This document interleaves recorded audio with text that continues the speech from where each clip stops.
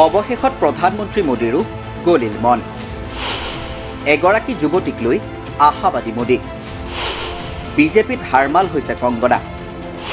কংগনাক out কৰি in কৰাৰ মন একৰাত বিগত লোকসভাৰ নিৰ্বাচনত দেশে কেইবাজনো নতুন সাংসদ পালে। বিশেষকৈ সংসদত এইবাৰ প্ৰথমবাৰৰ বাবে নিৰ্বাচিত হ'ল কেইবাগৰাকীও মহিলা সাংসদ। দুহেজাৰ ঊনৈছ চনৰ লোকসভাতকৈ এইবাৰ অৱশ্যে মহিলা সাংসদৰ সংখ্যা কম। এইবাৰ মুঠ চৌসত্তৰগৰাকী মহিলা সাংসদ নিৰ্বাচিত হোৱাৰ বিপৰীতে দুহেজাৰ ঊনৈছ চনত নিৰ্বাচিত হৈছিল মুঠ আঠসত্তৰগৰাকী মহিলা। বিজেপিৰ পৰা দুগৰাকী অভিনেত্ৰী কংগনা ৰাণাৱত আৰু হেমা মালিনী নিৰ্বাচিত হৈছে। অৱশ্যে হেমা মালিনী ইয়াৰ আগতেও সাংসদ আছিল।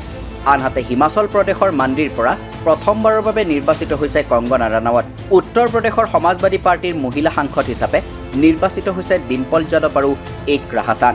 ৰাষ্ট্ৰীয় জনতা দলৰ পৰা মিছা ভাৰতী এন চি পিৰ পৰা সুপ্ৰিয়া সুলে আৰু ডি এম কেৰ পৰা কানিমুঝি নিৰ্বাচিত হৈছে।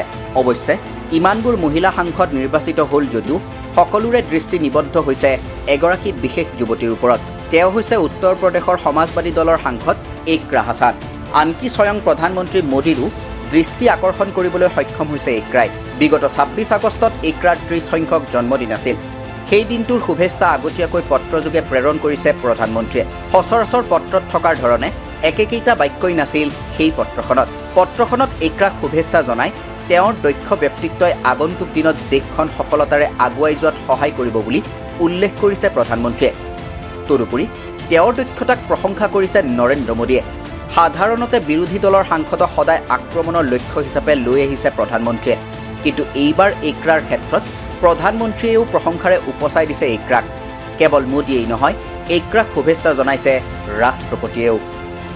গুৰুত্বপূৰ্ণ বিষয়টো হ'ল একৰাই নিজৰ ব্যক্তিত্ব ভাষণ আৰু মন্তব্যৰ জৰিয়তে বিৰোধীকো আকৰ্ষিত কৰিবলৈ সক্ষম হোৱাৰ বিপৰীতে বিজেপিৰ সাংসদ কংগনা ৰাণাৱতে নিজৰ মন্তব্যৰ বাবে দলৰ নেতৃত্বৰ পৰা ধমক খাবলগীয়া হৈছে।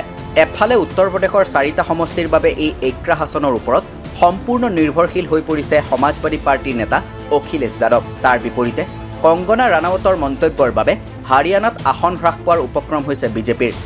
উত্তৰ প্ৰদেশত মুঠ দহটা সমষ্টিত অনুষ্ঠিত হ'ব উপ নিৰ্বাচন দেশৰ আন আন প্ৰান্ততো উপ নিৰ্বাচন অনুষ্ঠিত হ'ব যদিও উত্তৰ প্ৰদেশত এই উপ নিৰ্বাচন বিজেপি আৰু মুখ্যমন্ত্ৰী যোগী আদিত্যনাথৰ বাবে লিটমাছ টেষ্ট হিচাপে বিবেচিত হৈছে। কাৰণ দুহেজাৰ চৌব্বিছ চনৰ লোকসভা নিৰ্বাচনত দেশৰ সৰ্ববৃহৎ ৰাজ্য উত্তৰ প্ৰদেশত ধৰাশায়ী হ'ল বিজেপি। ৰাজ্যখনৰ আশীখনৰ আশীখন আসনেই লাভ কৰাৰ আশাত থকা বিজেপিৰ বিগত চাৰি জুনত সপোন ভাঙি চুৰমাৰ হৈছিল। ৰাজ্যখনৰ শোচনীয় প্ৰদৰ্শনৰ বাবে কেন্দ্ৰীয় নেতৃত্বই যোগী আদিত্যনাথকেই জগৰীয়া কৰিব বিচাৰিছিল যদিও তেওঁ কিন্তু স্পষ্ট ভাষাৰে ইয়াৰ বিৰোধিতা কৰিছিল। তেওঁৰ মতে কেন্দ্ৰীয় নেতৃত্বক চৌত্ৰিছগৰাকী সাংসদক প্ৰাৰ্থিত্ব নিদিবলৈ অনুৰোধ জনোৱাৰ পিছতো তেওঁৰ অনুৰোধ ৰখা হোৱা নাছিল। গতিকে তেওঁ সেই আসনবোৰত হৰাৰ দায়িত্ব ল'ব নোৱাৰে।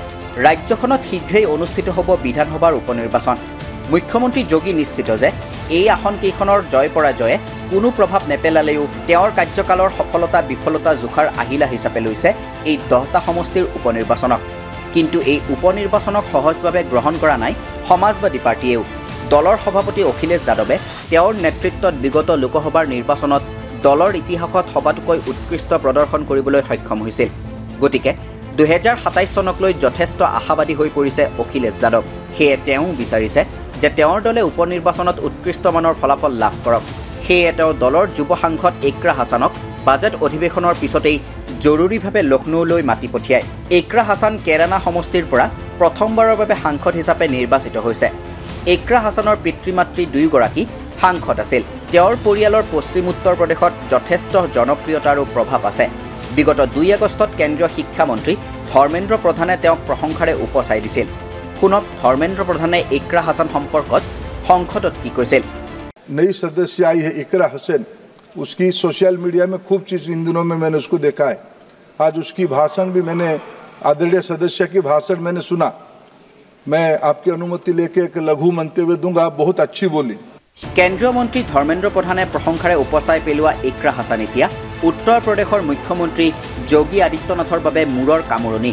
কিয়নো একৰা হাছান ৰাজ্যখনৰ মহিলা আৰু যুৱ প্ৰজন্মৰ মাজত যথেষ্ট জনপ্ৰিয়। তেওঁৰ কেইবাটাও ধনাত্মক দিশ আছে। লণ্ডনত তেওঁ উচ্চ শিক্ষাৰে শিক্ষিত।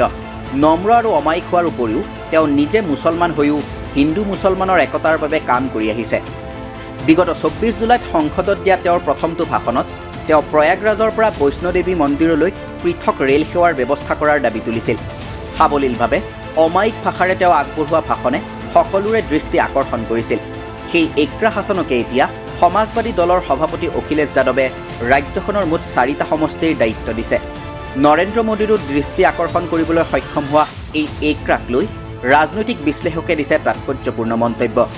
একাংশ বিশ্লেষকৰ মতে একৰা হাছানক বিজেপিয়ে নিজ দললৈ আনিবলৈ আপ্ৰাণ চেষ্টা কৰিব। কাৰণ দুহেজাৰ সাতাইছ চনৰ উত্তৰ প্ৰদেশ বিধানসভাৰ নিৰ্বাচনৰ সময়ত একৰাই এক গুৰুত্বপূৰ্ণ ভূমিকা ল'ব সমাজবাদী দলৰ ফালৰ পৰা আৰু ই বিজেপিৰ বাবে হ'ব এক বৃহৎ প্ৰত্যাহ্বান। News desk report, the Cross Current.